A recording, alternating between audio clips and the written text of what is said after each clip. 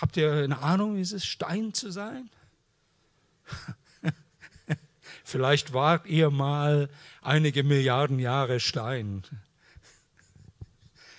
Äh, oder kennt ihr die Geschichte, wo da sitzen zwei Riesenfelsen nebeneinander, zwei Berge? Ja, und die sitzen da und da kommen, langsam kommen Menschen und die bauen da ein kleines Dörfchen auf und die Jahrtausende vergehen, es wird eine Stadt und dann irgendwann mal flippen die Menschen aus, äh, die Stadt explodiert und dann ist wieder Ruhe. Und da sagt der eine Berg zum anderen, du hast das gesehen? Und der eine sagt, nee, das war zu schnell. Shiva meditiert alles und äh, Shiva gießt sich hinein in das Sein und Mann, ist toll als Pflanze. Pflanze, was macht eine Pflanze? In Indien sind Pflanzen äh, die besten Gurus, die man überhaupt hat.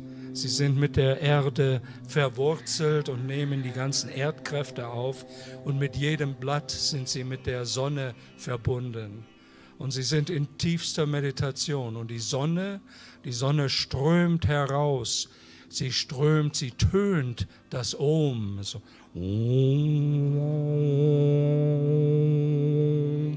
Ja, die sind absolute Ekstase.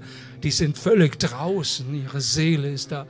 Wow, und in der, in der Tiefe, deswegen, wenn Wissenschaftler eine Pflanze auseinandernehmen und analysieren, da finden sie keine Seelen. Das ist anders wie wenn man ein, äh, ein Tier äh, hier mh, zwickt oder schneidet, dann au und beißt und so. Aber die Pflanze, die ist einfach völlig da draußen und völlig eins mit allem. Das ist eine tolle Meditation. Das ist äh, eine Meditation, da können die Pflanzen, äh, die sind, äh, die, die hören den Ton der Sonne, das Om. Das machen übrigens auch Wölfe, wenn die heulen. Die so, das ist das Om der Wölfe. Sind, äh, auf jeden Fall äh, ist das in allem ist äh, Shiva. Shiva als Pflanze, ganz toll. Shiva als Pflanze, Shiva als Tier, als Mücke, als Fliege. Shiva als die Fliege. Habt ihr mal gesehen, wie toll die Fliegen sind? Die können umgekehrt an der Decke laufen. Ich habe mich mal, äh, manch früher, jetzt bin ich normal geworden, aber früher habe ich mich manchmal mit den äh, Tieren äh, verbunden. Ich war ja auch Gärtner in Genf. Da fingen wir zwei Hektar Garten. Das ist eine Wahnsinnsgärten. Da ist man völlig im Gärtnerrausch drin. Ist nicht mehr geschafft in die Stadt, kein Disco gehört, nix. Da lag man dann drin, früher Morgen um 5 Uhr oder wenn die Sonne aufgeht, zack, ist man draußen und, und nimmt erstmal das auf. Und dann spät am Abend, äh, da, äh, da ist man dann in so einem ganz besonderen Zustand.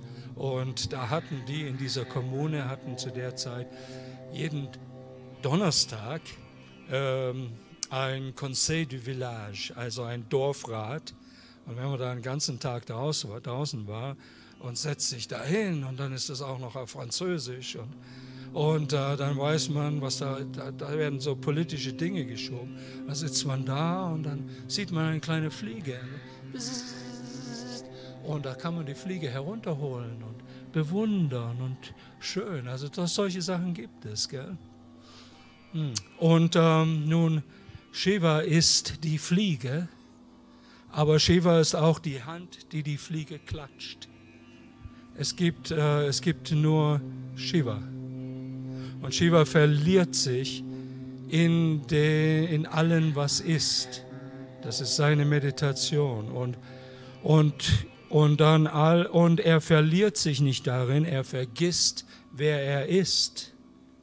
Und über viele, viele Äonen und so ähm, kommt dann irgendwann mal so eine Fliege zur Besinnung, hey, vielleicht bin ich gar nicht eine Fliege und wird ein Schmetterling oder so. Und irgendwann wird, äh, wird man so ein Mensch und weiß immer noch nicht, wer man ist.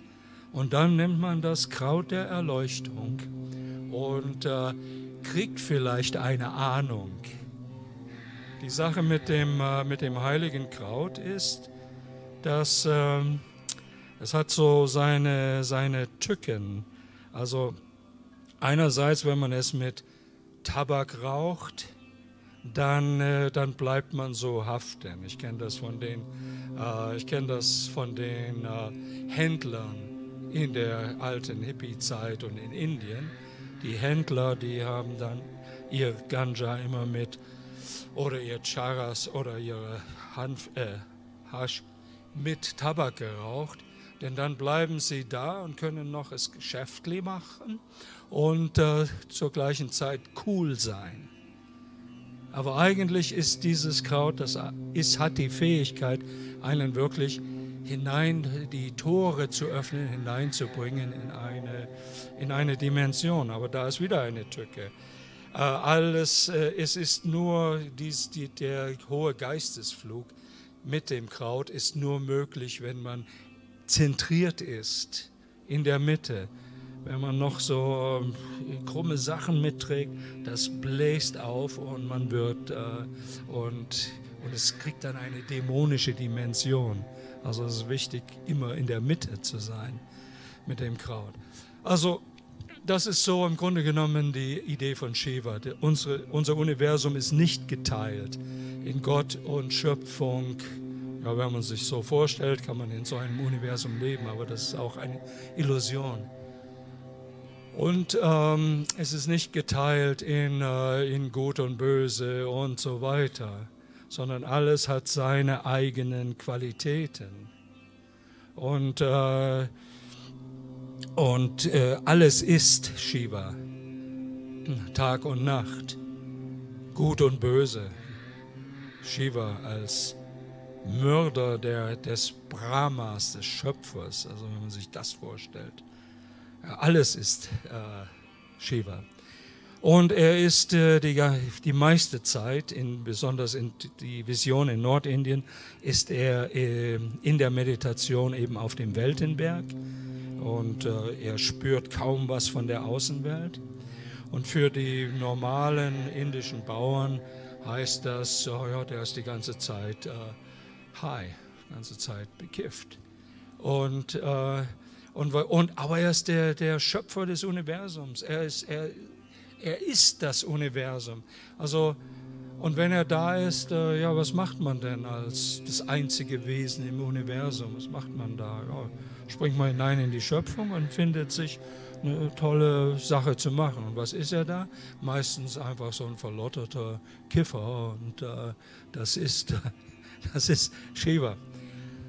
Er hat, äh, er hat natürlich, ähm, er hat dann Parvati und äh, die Tochter des Berges und, er, und die hatten kleine Kinder. Ähm, eine war Skanda, Skanda oder Kartikeya. Das ist auch interessant, wie der geboren wurde. Das ist eine schwierige Geschichte. Mal sehen, ob ich da reinkomme in die.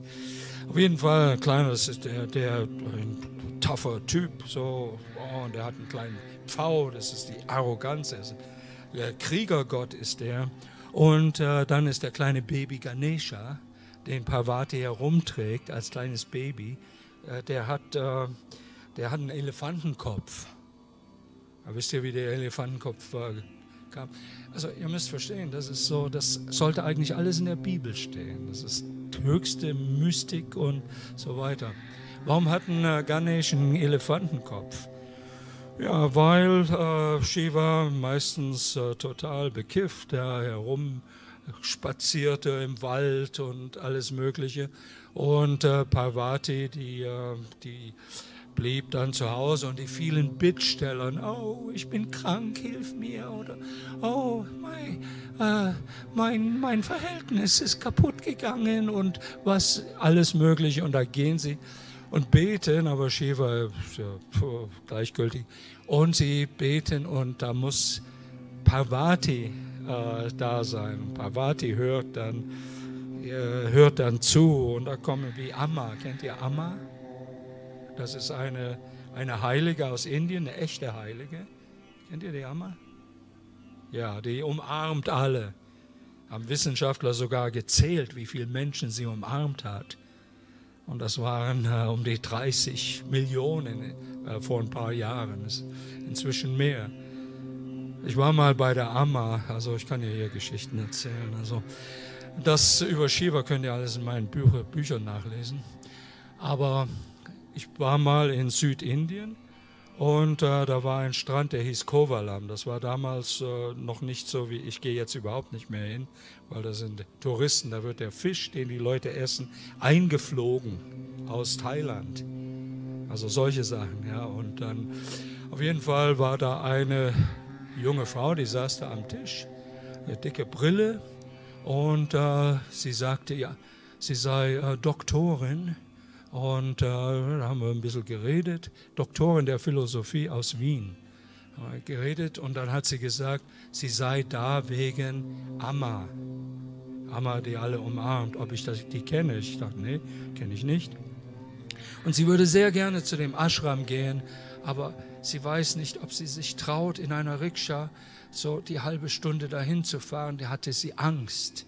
Ich sage, kann ja nichts passieren. Die Leute sind ganz freundlich hier. Können Sie ruhig fahren? Nein, ich, ich traue mich nicht. Würden Sie mitfahren? Da bin ich mitgefahren. Da kam ich, dachte, ja, das ist irgend so ein Guru, da sitzen, oder der Guru ist, oder wie man sagt. Und da sitzen äh, so vielleicht 15, 20 Leute rum. Da waren an dem Tag 15.000 und die waren alle so in in, in, in so einer Schlange, der ganze Platz voll. Und dann dauerte es mindestens vier Stunden, ehe man da zu Amma kam. Und äh, äh Amma kam dann raus und hat äh, erstmal wie wahnsinnig gelacht. Also so. Also all die Narren, die hier sind. Und und ich habe mich da reingestellt, Europäer, Inder, Kranke, Gesunde, Junge, Alte, alle waren da und endlich kam ich an die Reihe zur Amma. Und, äh, und da waren Europäer da, alle weiß gekleidet, schon vollkommen überzeugt, dass sie, in, dass sie heilig sind und haben dann Gangeswasser gesprüht, damit man gereinigt zur Amma kommt. Das einzige Grund, warum ich das alles gemacht habe, war, weil ich äh, Ethnologe bin und dachte, ja, wie, wie laufen denn diese Sachen? Ah, kam ich hin und sah dann, äh, sah dann Amma und auf einmal war es, als sind wir die einzigen Wesen im Universum. Alles andere verschwand. Und es war so, wir kennen einander ewig schon. Und, äh, und einen Moment der Ewigkeit. Und da habe ich gesehen, sie ist eine echte Heilige. Sie sieht in jedem, den sie umarmt, das göttliche Wesen. Sie sieht das Shiva-Wesen in jedem, äh, den sie umarmt. Ja. Naja, auf jeden Fall ist das so mit äh, Amma ist so ein bisschen wie äh, Durga oder sagen wir mal Parvati und sie empfängt die Leute und tröstet sie und ist lieb zu denen. Äh, Shiva, der wandert da in den Bergen herum aber die hat so viel zu tun mit all den Bittstellern, dass eines Tages sagte sie, hey, ich brauche mal ein bisschen Pause. Ich brauche Pause. Ich, ich muss mich mal baden. Ich, ich, ich mache ein Bad. Und hat sie Wasser reingelassen. Und ich brauche einen Torhüter. Einen Torhüter, der, der niemand reinlässt. Wenigstens ein paar Stunden. Und da hat sie dann die, den Dreck von den Fingernägeln genommen und schor von der Haut und hat ein kleines Männlein äh, geknetet. Und das war ein pfiffiger kleiner Kerl und sie sagte so, und hier ist eine Eisenstange und wenn da jemand rein will, äh, halt die zurück und notfalls hau denen eine. Was sie dem Kleinen nicht gegeben hat, war Angst oder Furcht. Und ja, ja Mama, mach ich. Und da stellte der sich hin, boom, kleiner Knirps und da kam dann Shiva, Herr des Universums, äh, also der groß, große Geist, kam dann zurück äh, und wollte in sein, sein Haus. Ja? Und, äh, ey, was, kleiner Knaps, geh mal aus dem Weg. Nein, du darfst hier nicht rein. Meine Mutter sagte, hier darf niemand rein. Ich bin der Hausherr hier. Äh, weißt du denn überhaupt, wer ich bin? Nee, ist mir egal, hier darf niemand rein. Äh, da hat äh, äh, Shiva dann seine Ganas, das sind so die Gefährten, die er hat. Was sind denn das für Gefährten? Ja, sind und äh, alles, was andere Leute ablehnen, die Wahnsinnigen und die äh, Geifernden. Und die kamen so, ja, holt den Kleinen und jagt ihn weg. Und, und der Kleine, tapfer und mutig, und äh, konnte noch immer nicht rein. Die anderen Götter, die saßen dann da herum und dachten, ah, sehr komisch. Der Herr des Universums kann nicht in seine eigene Bude gehen. und das war ziemlich, das war Shiva ziemlich peinlich. Ah, ja, da muss man andere Mittel nehmen. Ähm, und sein bester Freund ist Vishnu, der Welterhalter. Das ist der Gott der Götter, der einzige Gott, den es gibt, genau wie Shiva und alle anderen 333 äh, Milliarden Götter. Äh, und äh, er sagt, jo, den müssen wir, das müssen wir hier irgendwie regeln. Lenk den Kleinen mal ab und dann säbel ich ihm den Kopf ab. Und das ist dann auch geschehen. Und der Kopf rollte weg und äh, Shiva kam rein und sagte, hallo Liebling, hier bin ich wieder. Und sie sagte, wo ist, wo ist mein Söhnchen? Was, wer? Ja, der da an der Tür stand. Shiva wusste nicht, was er da machen sollte. Uh, uh, well, uh, naja, der ist weggegangen. Wenn ich ihn nicht habe, dann ziehe ich meine Shakti, meine Liebeskraft von der Welt zurück. Und das machte sie und auf einmal wurde es düster und kalt und, und äh, es war so wie, äh, alle waren unglücklich, äh, es gab nichts mehr zu essen und so weiter. Und, ähm, und die Dämonen auch, die bibberten und, und die Götter und Tiere und Menschen, die taten sich zusammen und sagten und gingen zu ihr und sagten, bitte, bitte, schick deine Liebeskraft wieder in die Welt zurück. Sie sagte, nein, nur wenn ich meinen kleinen Sohn wieder habe. Es ist im Christentum hat man ja auch ein ähnliches Bild, das ist die Mater Dolorosa. Ja? Und nur wenn ich den kleinen Sohn wieder habe, ja, den, der Shiva sagte, das ist kein Problem.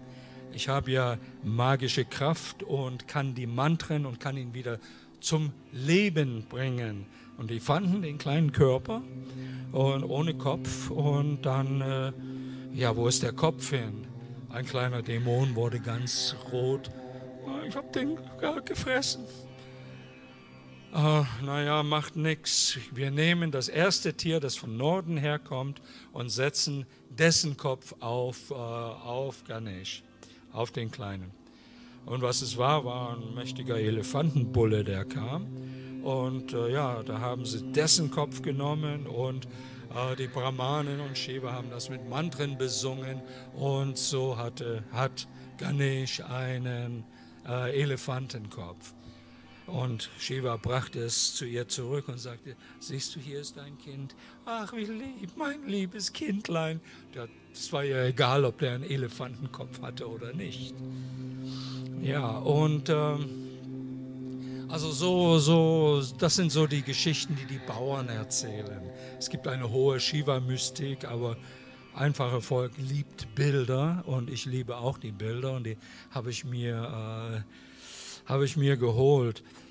Äh, und er war eben, äh, er war die meiste Zeit war er breit. Was macht man, wenn man Herr des Universums ist? Ja, acht bis fünf Uhr arbeiten und so. Das ist nicht unbedingt die Sache. Oder in irgendeinem Büro arbeiten oder so. Und, äh, und wie hat er denn, und er hatte eine Hütte, so wie die Unberührbaren, an, außerhalb der, am Rande der Stadt. Und hat meistens hat er gekifft und äh, meditiert. Und äh, um seine Familie zu ernähren, klein Baby Ganesha und den äh, Kartikeya, äh, da ist er betteln gegangen, hat Bettelrunden gemacht. Und äh, einmal hat er einfach zu viel Bang getrunken und hat es nicht geschafft. Und die äh, Kinder quergelten, ah, ich will mir was essen. Und letzte Reiskörnchen, das hatte der Pfau von äh, äh, Skanda oder Kartikeya, dem aufgegessen. Und, äh, und der kleine äh, Ganesh, der, der schrie als letzte Brotkrümel, das hatte seine Ratte gefressen. Er war ja so ein bisschen wie ein Punk, der hatte ja eine Ratte, wisst ihr, gell? Er hat, ähm, das war, ist Ganeshas Reittier, eine Ratte, äh, auf die er reitet. Das ist sehr schwierig, auf einer Ratte zu reiten, wenn man so ein ganz schwergewichtiger Elefant ist. Und er war auch gemütlich, hat immer gerne gegessen und die Mutter hat ihn sehr verwöhnt und er war ein dickes Kind. Der hätte heute äh, Therapie gekriegt. Und, äh, und die Kinder schrien und da kam Narada vorbei und sagte, dein Alter ist ein Bola, ein vollkommener Narr. Es ist schade um dich, du bist so eine schöne Frau. Und ging weiter und sie war in ihrem Stolz getroffen und sie sagte, gut, dann mache ich mal die Bettelrunde. Und ging durch die Stadt und hat dann an die Türen geklopft und mit dem kleinen Kind und sagte, bitte und ach, Sie arme Frau, das tut mir ja so leid. Äh, Sie arme Frau hier und da kam sie ganze Mengen Reis in ihre Bettelschale getan und so ging das von einem Haus zum anderen. Kam er wieder zurück, äh, kam sie wieder zurück, vollen äh, Reisschale. Und äh, Shiva dachte, oh Mensch, ich hab's verpennt, ich gehe mal herum und mach die Bettelrunde, klopft an die Tür. Das ist ja entsetzlich, sie Penner, plank, Tür zu. Bei der nächsten, also was sind Sie denn für ein schrecklicher Mensch? Ihre Familie hungert, Bon, Tür zu, war nichts in der Bettelschale drin, kam nach Hause, Tränen auf, in Tränen aufgelöst, kam er nach Hause, hatte nichts für seine Familie. Da öffnete er die Tür und da stand Parvati mit einem riesen Schale mit Unmengen Reis und er macht und sie steckt den Löffel mit Reis in seinen Mund. Also es ist so, äh, das ist eine Ikone, das ist Annapurna. Annapurna ist eine alt-indoeuropäische Gottheit, die gab es in Rom, die Anna Perenna. Als die Römer einmal hungerten, da kam ähm, die Anna Perenna und hat die Römer in einem Frühling gefüttert. Überhaupt das Wort, ähm, äh, also sie ist die Ernährerin in dem Sinn. Und das sind so die Geschichten. In Annapurna übrigens ist einer der großen 8000er Berge. Das sieht man, ich weiß nicht, ob von Kathmandu aus, aber von Pokhara aus, ein fantastisch hoher Berg. Und für die Imagination ist das, äh, ist das, ist das eben ähm, äh, ein, ein Reisberg. Das ist der Berg der Göttin der Nahrung. Und da heißt es ja im Indischen, äh, äh, zu den Hungrigen, den Hungrigen erscheint Gott in der Form von Essen. Ja, das sind so die, diese Geschichten, die da erzählt werden. Andere Geschichte ist ähm, äh, Basmaka, ein Dämon, der wusste, dass Shiva nicht Nein sagen kann. Shiva kann nicht Nein sagen. Er ist die Güte selber. Das Wort Shiva heißt Güte. Das, was eigentlich gesagt wird, ist, der Urgrund des Seins ist gut und ist Güte. Und Shiva kann, kann nicht Nein sagen, aber er ist meistens so weit weg und so high, wenn Leute kommen und ihn etwas fragen, so ja, ja, ist gut. Das wusste dieser Dämon. Und er kam dann äh, zu Shiva. Er hat jahrelang Askese geübt, äh, Meditationen gemacht, tausende von Jahren und konnte dann zu Shiva gehen und sagte zu Shiva, äh, du äh, Shiva, ähm, hier, ich habe dir was mitgebracht, eine Laute, eine Gitarre. Shiva, hey, ja Mann, cool. Bang, bang, bang, bang, bang, bang.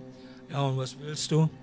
Ich will, ähm, ich ähm, will eine Gabe von dir, dass jeden, den ich berühre, dass der also zersprengt, zerstört wird. Nur berühren, pum, ist er weg. Shiva sagt, ja, das klingt okay, ja, kannst du haben. In dem Moment springt dieser Dämon, als er diese Gabe hat, auf Shiva selbst, selber. Das ist immer der Dämon, ist auch in uns, das ist Psychologie, der Dämon in uns, der die Macht haben will, anstatt das Göttliche selbst.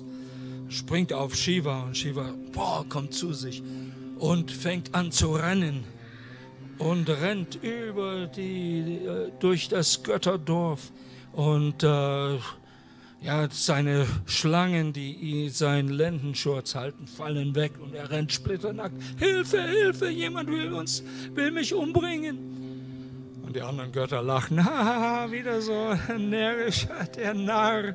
Nein, nein, ist ernst, ah, Hilfe, Hilfe. Und der Dämon hinterher. Äh, eigentlich ein, einzig nur sein bester Freund, und das war Vishnu wieder, erkannte die Lage und äh, lenkte den Dämon ab, indem er sich die Maya, die Gestalt gab, die illusionäre Gestalt der schönsten Frau der Welt und das war die Mohini und der Dämon. Hey, wie wär's mit uns? Shiva konnte weg. Nun äh, sagte Mohini, du kannst mich haben, aber nur wenn du mit mir tanzt. Und äh, ja, machen wir. Und dann hat sie so ein Bein gehoben, er hat ein Bein gehoben und sie hat ihm vorgetanzt und äh, gedreht und, und so weiter. Und dann hat sie während des Tanzes ihren Kopf berührt, er hat seinen Kopf berührt und puff war er weg. Eine andere Geschichte, da gibt es doch äh, den Ravana, kennt ihr den? Ravana, Ravana, Ravana. Das ist der, das ist der Erzzauberer, der ist elegant, kultiviert. Er, hat, er kann seine Gestalten wechseln. Er ist eine schillernde, magische Persönlichkeit. Und äh, er dachte eigentlich, wäre ich doch der Herr des Universums. Ich mit meiner Würde und Kult, mein kultiviertes Wesen. Äh, und wer ist der Herr des Universums? Dieser, dieser aschebeschmierte äh, äh, Drogentyp da, das geht doch nicht. Und er hat die schönste Frau der Welt, geht auch nicht. Ja, und da hat er echte Askese gemacht, das muss man, um dahin zu kommen. Also der hat sich, äh, ja, was hat er, zwischen im Sommer in der Gluthitze hat er sich zwischen Feuern gesetzt und im Winter in eiskalte Bäche. Er hat, äh, er hat seine Haut abgeschält, äh, einfach um seinen Willen zu stärken. Gibt es ja immer noch in Indien. Man sieht in der Kumbh Mela, sieht man welche, die da völlig äh, von Shiva begeistert sind und sie sagen, ich hebe meinen Arm hoch für Shiva und werde ihn nie wieder runternehmen. Und da gibt es welche, die machen das. Und nach einer, und ja, so ein paar Minuten geht das, aber nach ein paar Stunden, oh, und das ist der eiserne Wille, die Hand hochzuhalten. Und dann nach einer Weile, da wird es fest und die Hand wird so dünn wie eine Vogelklaue nach einigen Jahren. Also wer so einen Willen hat, wird gefürchtet. Und meistens ist es so, dass äh, wer so einen Willen hat, die Götter gucken, Indra, der Donnergott, guckt und sagt, oh, wow, wow, wow. Wer so einen Willen hat, der könnte mich ja von meinem Götterthron stürzen. Da muss man was unternehmen. Da schicke ich mal ein bisschen Versuchung hin, ein paar so tanzende Freudenmädchen. Vielleicht wird das helfen und so. Aber es gibt welche, die haben eben diese, diese, diesen eisernen Willen. Oder der eine, der ist ganz berühmt geworden, der steht nur auf einem Bein und das schon seit Jahren. Das Bein ist ganz dick geworden und so. Aber so einen Willen zu haben, die werden in Indien sehr verehrt. Hier kommen sie in die, in die Psychiatrie, aber dort werden sie verehrt, weil das ist ganz was Besonderes. Das hat Ravana gemacht und zwar über lange Zeit über zehntausende Jahre. Und dann hatte er die Kraft, um Shiva zu konfrontieren und äh, ging dahin und äh, und sagte, Shiva, gib mir deine Frau. Da sagte Shiva, ja, okay, Mann, ist alles okay. Und die kleinen, die kleinen äh, Geisterchen, die da mit waren, die, die, waren ganz entsetzt. Shivas Frau war nämlich unterhalb vom Kailash in dem Manasa, Manasarova See und hat gerade gebadet und kamen hin. Hey, der Shiva hat dich verschenkt an Ravana, den Dämonen. Und das sagte Parvati, na gut, und hat dann einen Frosch genommen und hat den Frosch durch ihre Zauberkraft, ihr Meier, schönste Gestalt gegeben. Und äh, also so, so wie, äh, ich weiß nicht, wie man heute sagen, Marilyn Monroe oder sowas. Und da kam der, kam Ravana und sagte, oh, das ist Parvati, die nehme ich mir jetzt mit. Und dann flog er zu, seiner, äh, zu seinem Palast im Süden und die Hochzeit wurde gefeiert und dann äh, nahm er sie auf die Hochzeitscouch und puff war der Zauber vorüber, da saß ein Frosch auf dem Bett. Ja, das sind so diese kleinen Shiva-Geschichten, die man immer, immer hat. Also das eigentlich sind das ganz tiefsinnige Sachen. Ich weiß nicht, ob das äh, rüberkommt. Ähm, hm. Ja, und dann ist noch, äh, ja, wie kam, ähm, wie kam es, dass Shiva so ein Penner wurde? Äh, es ist, als sie jung vermählt waren, ist er immer gewandert, immer durch die Berge und, äh, und Wälder ge ge gegangen und eigentlich ist da Parvati selber schuld, denn sie dachte, wenn ich ihm schön Bang gebe, dann bleibt er da. Und tatsächlich, äh, er hat Bang und ge getrunken und da war das die allerschönste, nicht nur in so, so faszinierend und schön, er kam nicht weg. Und das Haus war ein Palast geworden und äh, so blieb er äh, zu Hause. Ja, dann äh, gibt es ja noch die, ist, dann gibt es ja noch die Ideen von Shiva. Ist, Shiva ist eigentlich äh, so ein bisschen das Bild, sein Bild, mehr als das von Pan, ist in unsere Mythologie hineingegangen als der Teufel. Denn Shiva ist alles und was er ist und wie er erscheint, kommt von unserer eigenen Seelenverfassung an. Aber es ist so, er wird dargestellt, er tanzt mit allen möglichen Dämonen und äh, mit dem Dreizack. Dreizack ist ja die Teufelsgabel. In, äh, in Zentralasien, in, bei den Sibirien, Mongolei, Sibirien äh, äh und äh, Himalaya ist es äh, der Zepter, der Schamanenzepter. Es ist der Weltenbaum. Es ist der Weltenbaum eigentlich, der so dargestellt wird.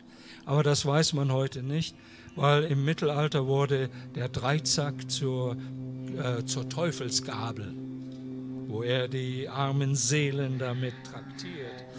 Äh, der, deswegen haben wir als, äh, als, äh, als Besteck, also im frühen Mittelalter haben, hat man kein Besteck gehabt, hat man meistens ein Messer gehabt, hat ins Fleisch gebissen und dann die Knochen weggeworfen oder Brot in die Suppe, Löffel gab es. Aber als die Syphilis kam, da wurde auf einmal die Natur, äh, war man ängstlich und gefährlich der Natur gegenüber und man ging sie an mit Besteck, schob äh, Metall zwischen sich und, und dem Essen. Das ist genau wie man hat auch nicht mehr die Kinder äh, gestillt oder man hat sie Fremden gegeben, weil das Organische war dann irgendwie äh, suspekt. Und die Kinder in Kinderwagen vor sich hergeschoben, anstatt nahe bei. Das Essen in Indien gefällt mir das immer, dass man immer noch mit der Hand essen kann. Da, da, da, da fühlt man das Essen auch viel besser. Ja, und ähm, als dann Besteck äh, kam, zum Essen. Da hat man extra die Gabel, anstatt drei äh, Forken, haben man vier gemacht, weil man wollte ja, die Kirche hat dann darauf bestanden, man wollte nicht eine Teufelsgabel haben. Und, was, und äh, vergessen ist eben, dass das ein Zepter der Schamanen ist. Und es ist so, was ist das? Er tanzt im Feuer und die Dämonen sind herum. Also das ist, ähm, das habe ich erlebt, als ich zuerst nach Indien kam. Äh, ich kam da als Ethnologe dahin und Gast äh, an der Universität, aber die Universität war im totalen Chaos, Auflösung, äh, weil die Studenten wollten äh, in die Bücher schauen, um ihre Examen zu machen. Und äh, die Professoren sagen, nein, ihr müsst das lernen. Könnt nicht. Ja, aber wenn wir dann im Beruf sind, schauen wir ja sowieso in die Bücher. Warum sollen wir das lernen? Äh, bitteschön, warum sollen wir das lernen? Ja, ihr habt das zu lernen. Und da wurden dann keine Examen mehr gegeben. Und da haben die äh, Studenten sind dann an den Ganges gegangen, gegangen zu den Gewalttätern, der Kaste der Gewalttäter. Es gibt Kasten für alles und haben die Gewalttäter geholt und auf den Campus und haben es der Fakultät heiß gemacht. Dem Dekan wurde der Arm gebrochen, die, äh, als er aus dem Auto stieg. Die, äh, Post wurde, die Post wurde äh, niedergebrannt. Da hat dann die Fakultät ihrerseits Gewalttäter angeheuert und es war ein ganz, äh, also ziemlich äh, äh, schwierige Sache. Ja. Auf jeden Fall, am ersten Tag lief ich am Ganges entlang und schnupperte und hey, das riecht ja, das riecht ja nach Barbecue, ist wie in Amerika am Nationalfeiertag. Hm, verbranntes Fleisch, Barbecue, das sind doch alles Vegetarier. Und dann sah ich ein, äh, also eine, ein Scheiterhaufen, Verbrennung. Das war Harichandra Ghat am Ganges. Und äh, ich so, ach ja, das, das, wie man hier programmiert ist, das, schaut man ja nicht an. Aber das Pathologische fasziniert eben. Und dann guckt man nochmal und gerade in dem Moment muss irgendeine Sehne gerissen sein, weil die brennende, die brennende Leiche schnallte nach oben. Gesicht war teilweise schon weggebrannt und es sah aus, als grinst die mich an und sagt, Ha, Namaste. Und ich war schockiert. Und dann kam so ein kleiner Hindu daher und sagte, oh, you must look, you must look. Burning is learning, cremation is education. und dann habe ich gemerkt, äh, ja, alles ist öffentlich. Auch so, was wir in unseren äh, kulturell äh, bedingten Rit äh, Ritualkabinen machen, Klo und Toiletten, das macht man einfach draußen. Da sitzt man so am Morgen, um die Gedärme zu leeren, sitzt man da in der Hocke, raucht vielleicht ein Bidi, so ist auf dem Land und, und äh, erzählt sich Neuigkeiten. Die Frauen, die sind dann, haben ihre eigenen ein bisschen besser geschützt hinter ein paar Büschen. Und äh, es ist alles offen. Leben und Tod ist offen. Und die, äh, die Kranken, ja, die wurden, also als ich damals war, die werden dann, äh, die gehen raus, die werden nicht abge, äh, also irgend in ein Gebäude oder so, damit sie teilhaben am Leben und damit sie eine Kuh berühren können, denn das bringt Heilung und Segen. Oder ein bisschen Kuhurin, das ist, äh, macht man als guter Hindu, habe ich auch gemacht, immer jeden Morgen hat Kühen ein bisschen Gras gegeben und äh, das tut gut äh, und so weiter. Und äh, also ist alles, und die Wahnsinnigen, ja, die werden auch nicht eingesperrt. Ja, das ist irgendeine Gottheit, die in ihnen ist. Und äh, schlafen mitten auf der Straße, der Verkehr macht einen Bogen herum oder laufen herum, denken, sie sind irgendeine Gottheit. Äh, haben, einer hatte so eine Feder im, im Haar und eine äh, Tomate hängen, die hat er Flöte gespielt. Ich denke, er dachte, er war äh, Krishna und der Geist Krishna war wahrscheinlich in ihm. Auf jeden Fall, äh, die, äh, die Verbrennungen, die sind dann öffentlich und man kann sich mit hinsetzen und einstimmen. Und bei solchen Verbrennungen, die Verwandten, die sind alle auf, äh, nicht auf äh, Chillum, sondern auf Bang. Und Bang sind die, äh, ist, ist die Hanfblüte, die wird äh, zerkleinert und mit äh, Joghurt äh, gemischt zu Kugeln und ein bisschen Pfeffer rein. Und das hebt ab von dem Alltag, so dass sie den Toten mit begleiten können. Das nennt man Totenbegleitrituale in der äh, Ethnologie.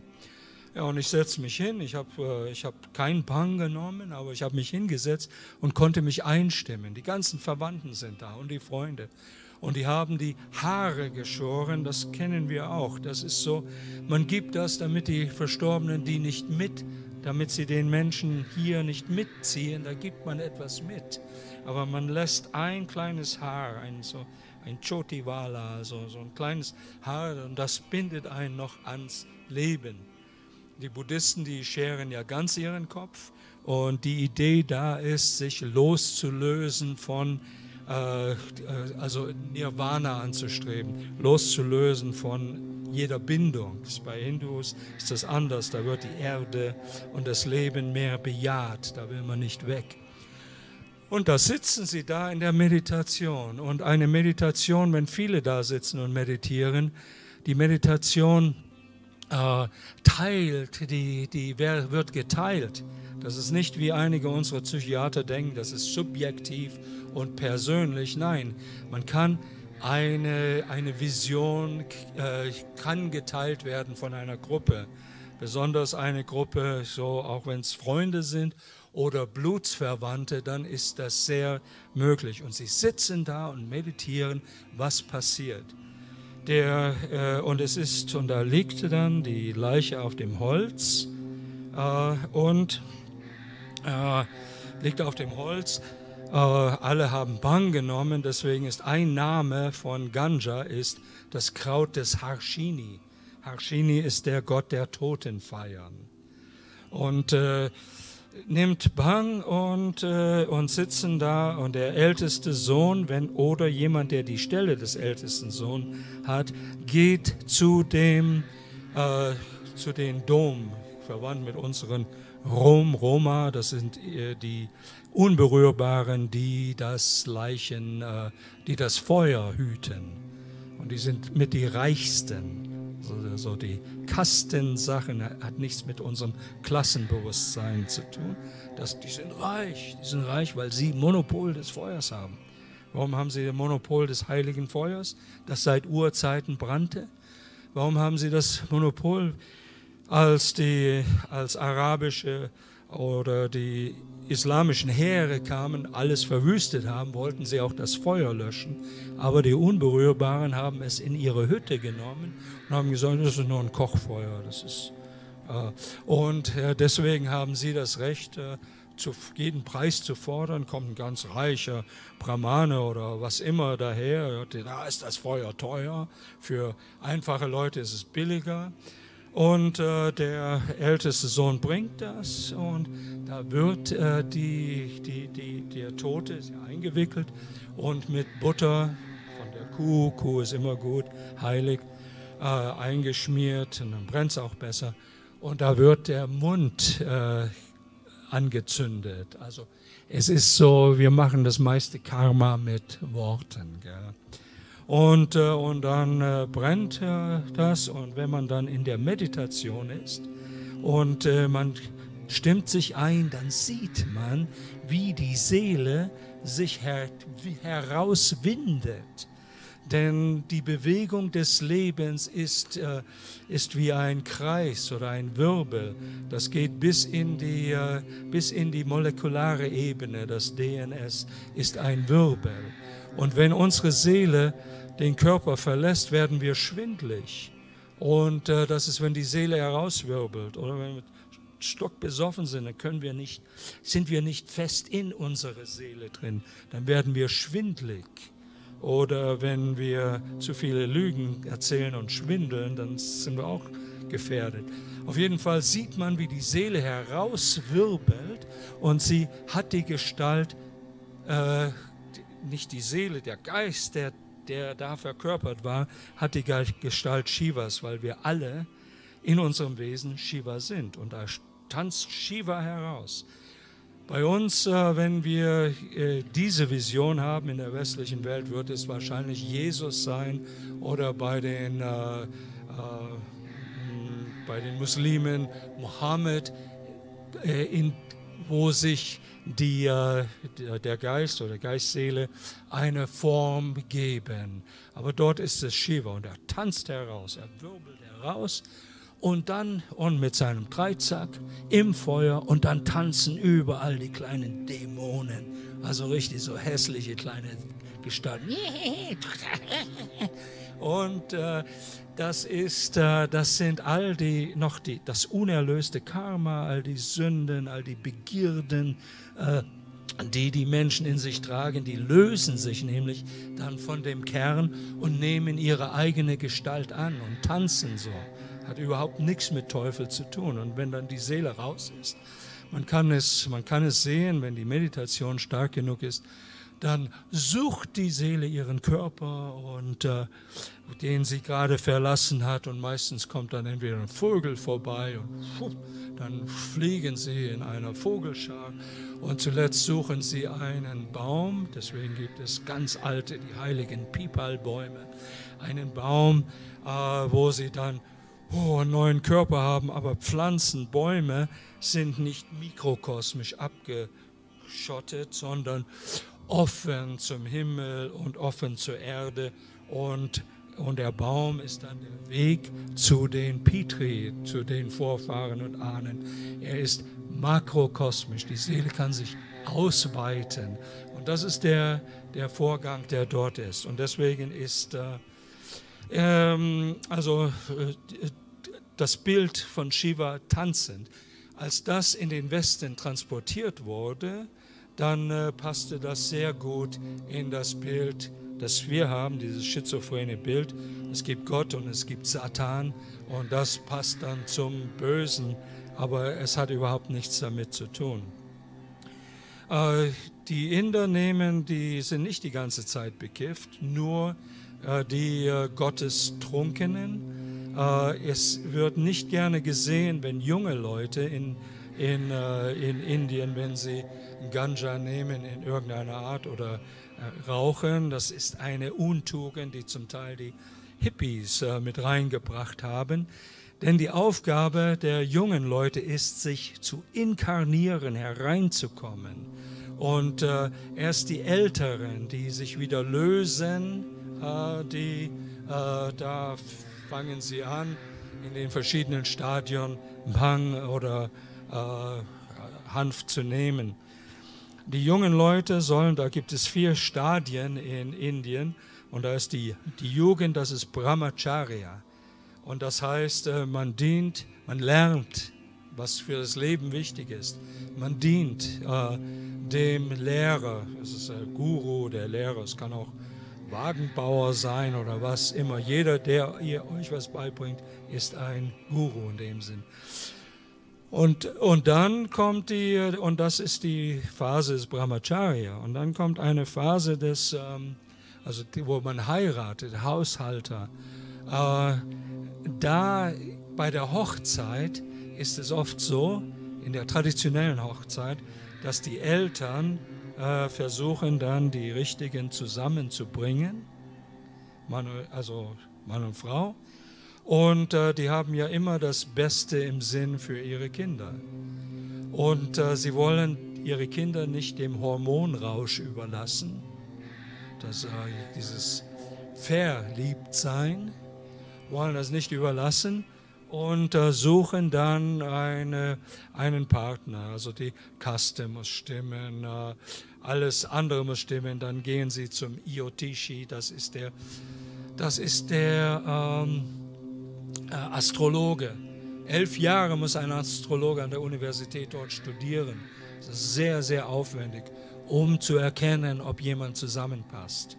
Und oft war es so, dass dann bei der Hochzeitszeremonie das ewige Feuer brannte in der Mitte. Die Brahmanen haben 5000 Jahre alte Gesänge gesungen.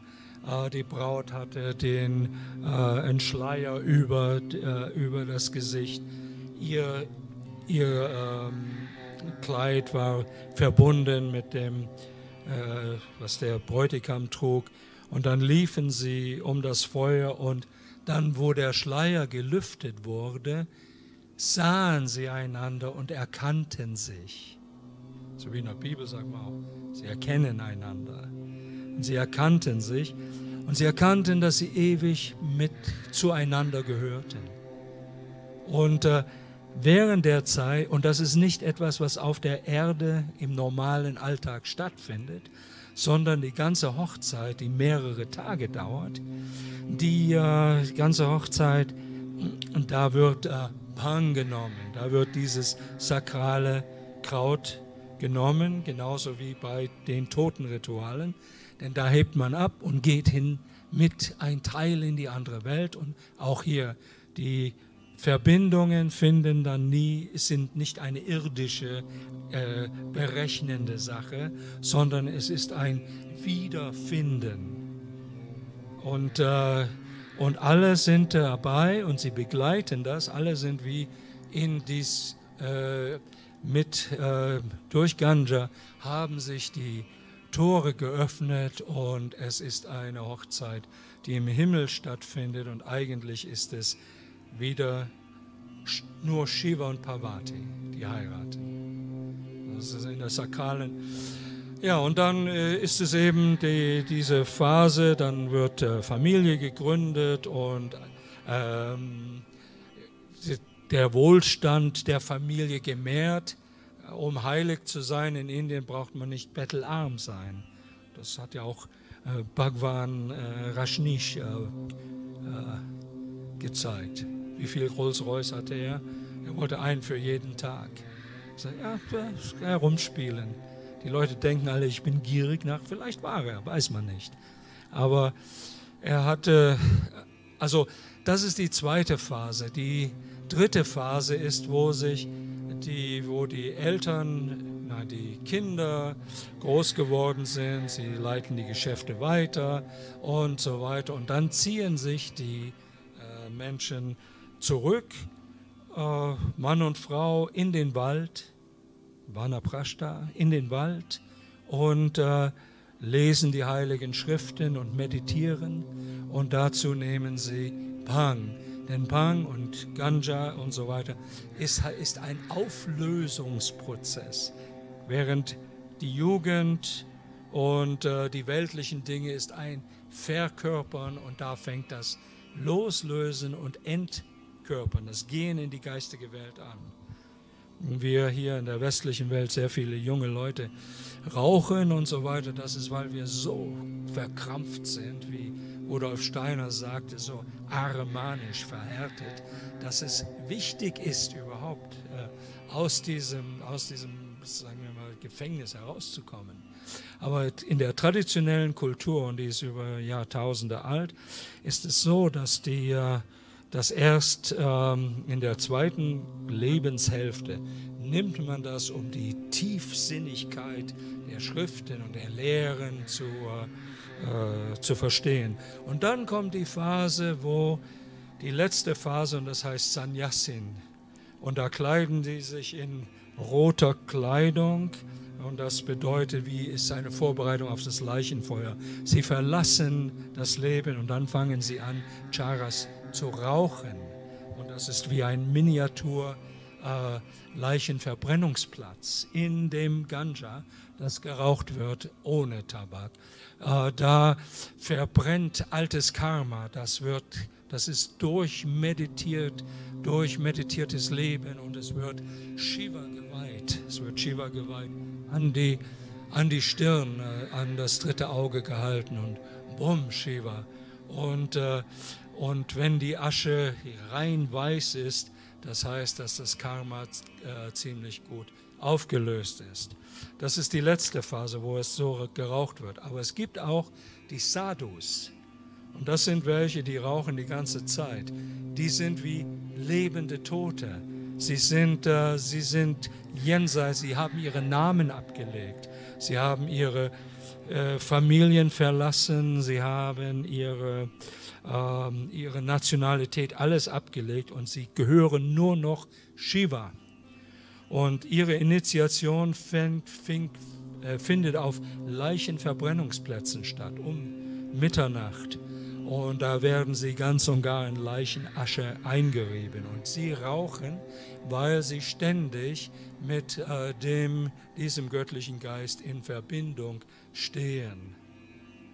Und äh, wandern dann, sie sind wie, sie gelten als lebende Tote.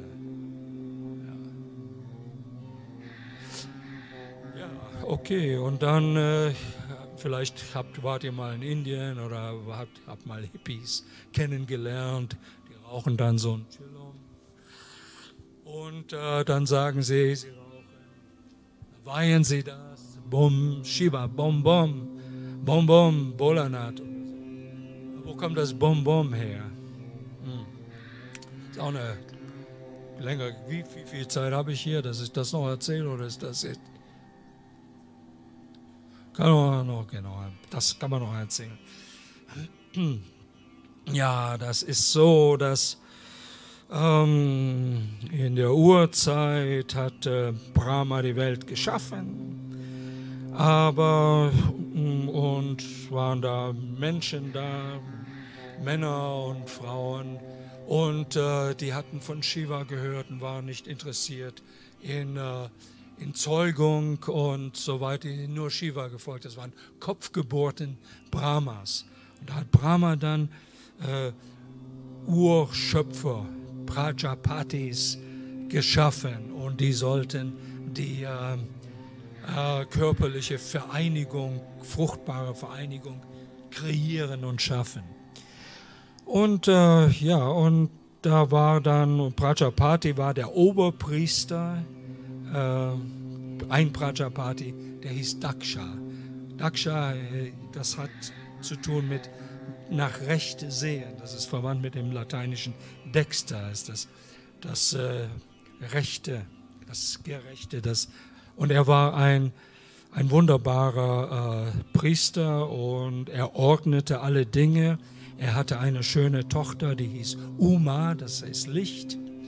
Und äh, er wollte, dass er und seine Frau wollten, dass sie einen würdigen Fürsten heiraten, aber sie hat Shiva erblickt und war in ihm vollkommen verliebt, hat sich ihm hingegeben und äh, er war aber Außenseiter, war nicht eingeladen und äh, sie konnte nicht verkuppelt werden, weil sie eine Prinzessin war. Sie durfte ihren eigenen Mann äh, wählen.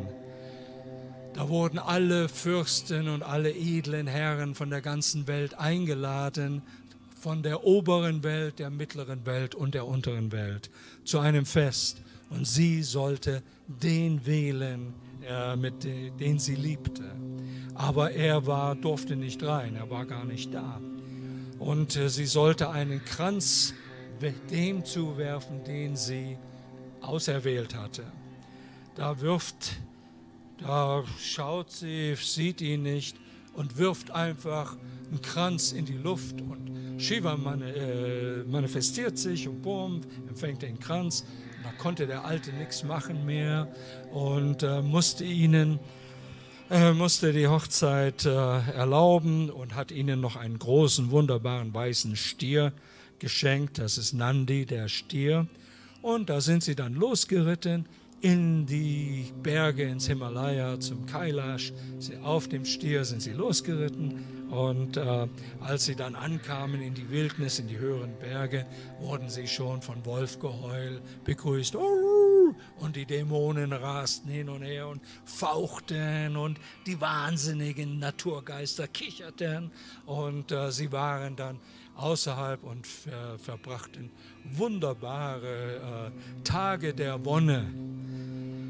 Am Anfang war sie etwas schüchtern und scheu, und, äh, aber dann haben sie Pang genommen und dann fing es mit der Liebe also richtig an. Das können wir uns gar nicht vorstellen. Denn Shiva kann sich ja in alles und Uma auch, in alles hinein verzaubern. Die haben es getrieben als Mücken, als Fliegen, als Frösche, als Hunde, als Affen, als Schweine, als Dämonen, als Engel. Und äh, also Es war die totale Ekstase in jeder Dimension. Hm. Das ist nicht fremd, das sind wir. Wir haben es nur noch nicht realisiert. Oder einige vielleicht schon. Auf jeden Fall war das so die absolute, absolute Wunder. In der Zwischenzeit wurde mal wieder ein Welterhaltungsfest von dem großen Priester Daksha, dem Prajapati, gehalten. Alle Götter kamen, alle wurden eingeladen, die Götterkutschen fuhren durch den Himmel und Uma sagte, hey, was ist denn das? Äh, warum bist du nicht eingeladen? Du bist doch äh, der Urgrund des Universums. Er sagte, ey, das ist mir egal. Äh, diese Opfer, was nützt mir dieses äh, verbrannte Fleisch und das Gemurmel der Priester und Brahmanen? Äh, was mich interessiert, ist die Liebe von denjenigen, von meinen Nachfolgern oder meinen Anhängern. Und komm, Uma, lasst uns das vergessen. Aber sie konnte es nicht vergessen. Ich bin die Tochter von Prajapati und, äh, und, und dass sie dich nicht einladen, ist eine große Beleidigung. Also äh, ließ sie sich nicht halten. Sie nahm einige, sie sprang auf den Stier Nandi und ritt hin zu dem großen Opferfest und ähm, sagte, ja, was ist das? Sie berührte die Füße ihrer Eltern aber sie wurde nicht gegrüßt und sagt, du bist eine verkommene Tochter, dich da herumzutreiben mit dem da und du bist verbannt. Sie wurde so zornig, dass sie sich in ihrem Zorn erhitzte und verbrannte. Deswegen heißt sie Sati, die Tugendhafte. Das haben ja indische Witwen, haben das ja gemacht, um mit ihrem Mann zu bleiben, sind sie auf den äh, auf den Scheiterhaufen gesprungen. Wir denken, ja, das ist gezwungen und so weiter. Nein, es gibt es, gibt es tatsächlich, wo äh, Seelen miteinander gehen. Das gibt es. Ich habe das in Rajasthan noch erlebt. Das waren äh, Universitätsdozenten, äh, ganz modern. Vater war gestorben, die Mutter sagt, äh, ich springe drauf. Das ist ja gesetzlich verboten. Ich mache, was ich will. Und an, bei der Verbrennung ist sie tatsächlich mit auf den. Äh, also, das sind so Sachen, die wir im Westen nicht so äh, klar hinkriegen. Ja, und dann äh, war, war sie verbrannt. Und Shiva wurde zornig. Er riss Teil seiner Haare aus schlug damit den Boden. Da kam Badra Kali, eine zerstörerische Furie und äh, noch ein Dämon. Und die rasten dann zu diesem großen Opferfest. Sie warfen die, das Opfertier, das war ein Hirsch oder ein Reh, warfen im hohen Bogen über den Ganges, den Alt, einem alten Gott äh, der Kühe Pushan hauten sie die Zähne raus. Der kann nur noch Brei und Bananen essen. Äh, andere, andere Götter, ja, sogar Vishnu kriegte einen ab und hatte eine Beule.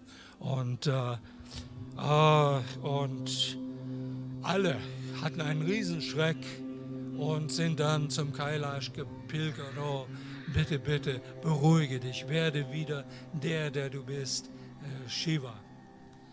Und der Prajupati, der Schwiegervater sagte ja, ah nein, der Prajupati, er sagte nichts, weil äh, die hatten ihn geköpft.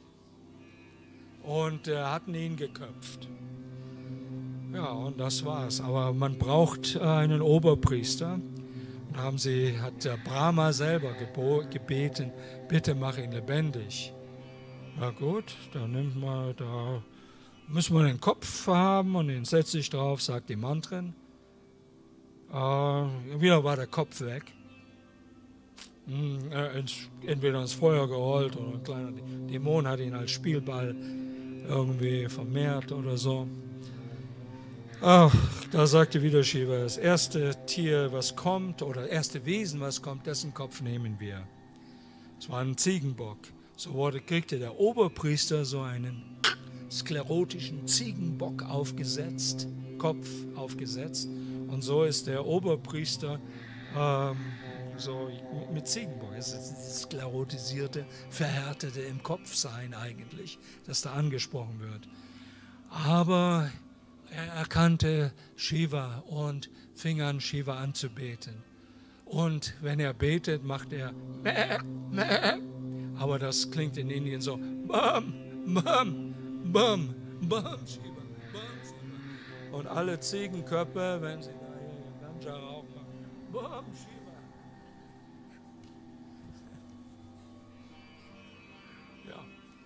Also das ist nur ein ganz winziger Ausschnitt. Indien ist so wie ein Urwald. Äh, es ist nicht eine Wüste, sondern es ist wachsende. Äh, es gibt keine offizielle Lehre, das wächst und blüht die Imaginationen und ich finde das immer ganz, ganz toll, diese Geschichten. Tiefe Weisheit dahinter, oberflächlich, also wirklich manchmal richtig blöd. So.